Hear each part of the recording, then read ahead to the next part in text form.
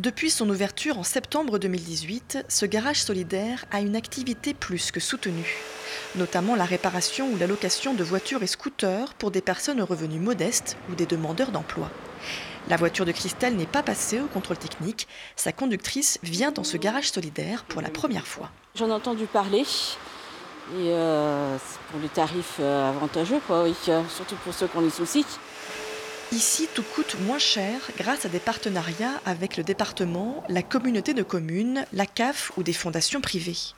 Les devis de réparation sont jusqu'à 30% plus bas qu'ailleurs. On a une heure et demie de main-d'œuvre à 30 euros de l'heure et des remises sur les pièces, 15% de remise sur les pièces. Ce qui fait un devis à 220 euros. Dans un garage classique, on serait à un peu plus de 300 euros. Ce garage accueille aussi une plateforme d'aide à la mobilité avec un espace entretien.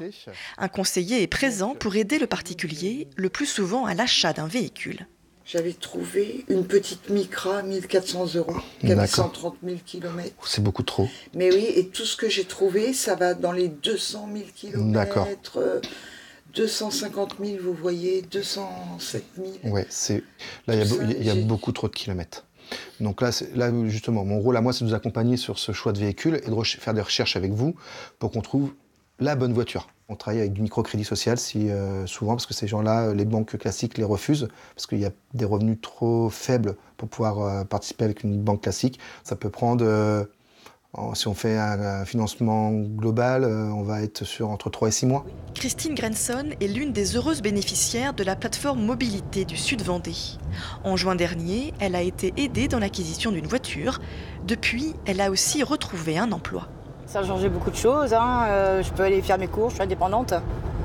Aller me promener, mes rendez-vous chez le docteur, emmener mes petits-enfants, aller chez mes enfants. L'objectif, c'était d'avoir ma voiture pour travailler. hein. Sinon, euh, à mon avis, j'aurais pas, eu, j'aurais pas eu la place parce que bon, faut être mobile. hein. Chaque matin, Christine a 21 km à parcourir pour se rendre à son travail, un contrat d'insertion dans une laverie. D'ici quelques mois, elle espère trouver un CDI dans la petite enfance. Pour sa première année pleine d'activité, la plateforme mobilité a rencontré un franc succès. 400 personnes en ont bénéficié, dont la moitié pour faire réparer sa voiture.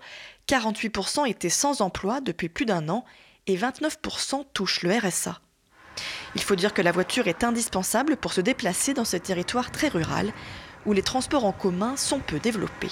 Les personnes qui viennent chez nous sont des personnes qui, euh, de par leurs euh, problèmes financiers, n'auraient pas les moyens de faire réparer leur voiture si elles ne venaient pas dans ce garage social. Outre cette plateforme mobilité de Fontenay-le-Comte, le dispositif dispose de cinq agences en Sud-Vendée, toutes disposées à conseiller les futurs bénéficiaires.